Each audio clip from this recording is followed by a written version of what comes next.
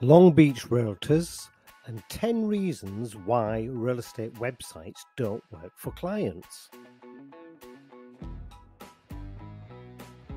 The number one reason is poor design. Clients may find real estate websites to be difficult to navigate with unappealing visuals and a lack of clearly defined categories.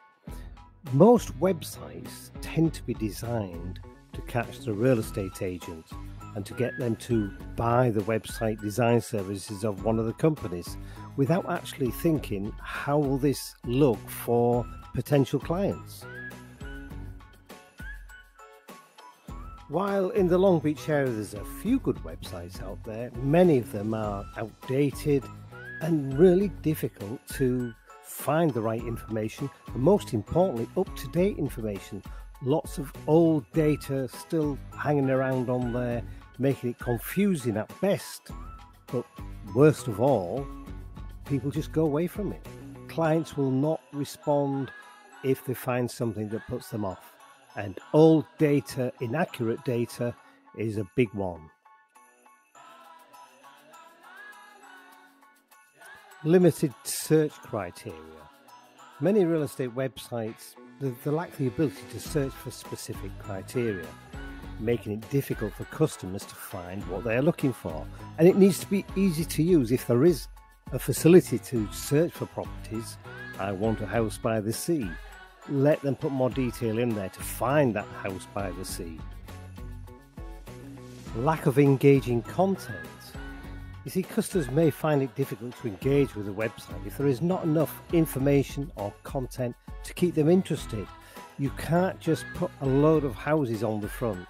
Yes, they're after houses or a home to buy, but they want more detail, want more information. That's why they've come, and you need to keep them on your website. People want to be interested, they want to find out what they need to do, how they can do these things. Poor customer service. By this, it's if customers cannot find help or contact the website, contact you, the realtor, they'll be less likely to use it. It's amazing. Many of you put your phone numbers on the first page, which is great, and it should be there. But half of them, you can't even see them. The worst thing, though, is yes, you want clients, potential clients to contact you, to be able to engage with you. Don't have the pop up springing up there as soon as somebody comes onto your website. It's the biggest off put, and people likely just click off straight away. Unclear on pricing. You see, potential customers may be put off by hidden fees or unclear pricing structures that you have, making them less likely to use your website. Tell them the information, tell them that there's availability to discuss pricing, but you've got to not hide things, be upfront with people. Limited payment options. If customers cannot find a payment option that works for them, they may be less likely to use the website. Put the details on individual properties to give people an idea. They're looking at the moment to see what information they can get, how much something is going to cost them. Be upfront, get it out there for them to see. This is probably the biggest one now outdated technology. You see, websites that are not optimized for mobile devices, they need to be. Everybody searches on a mobile device now. Or modern web browsers may be difficult to use, so making customers less likely to use them.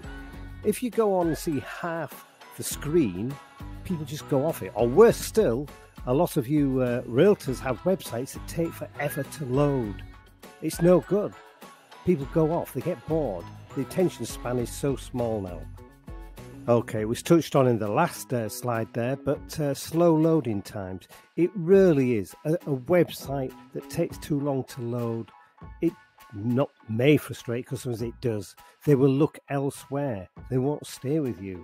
A lot of um, the realtors' websites tend to have moving visuals on the first page, which slows the page down so so much.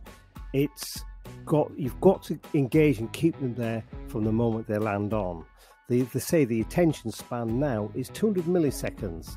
If it doesn't load in that time, it's no good. Most of the websites that I look at, they can take up to two, which doesn't sound a lot. Two, two and a half seconds. It's too long. People are gone. They're away. On to the next. Okay, there's a bonus one after this, um, but this is we're looking at poor customer reviews. If customers have had bad experiences with a real estate website or agent, they may be less likely to use it. Well, in fact, they won't use it, will they? And what you don't want is somebody putting bad reviews about your service anyway. So, give a good service.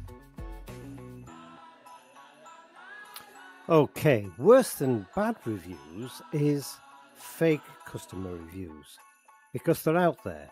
I've looked at all the Long Beach Realtors websites that I'm contacted in, in Long Beach, and it's amazing how many of you have fake reviews on there. They will be found out because it's quite easy now with technology, it's not that difficult. And I'll be uh, highlighting some of them shortly. So get your uh, website sorted, stop using fake customer reviews. Okay, images and video. See, I know websites, you need a website. Of course, you need a website as a realtor, but people often prefer video to text because it can be easy to understand complex topics with visuals. Video is also often more engaging than text and can help to keep viewers interested and focused on the topic. Additionally, video can be more interactive and allow for more creative expression than text, allowing viewers to gain a better understanding of the material.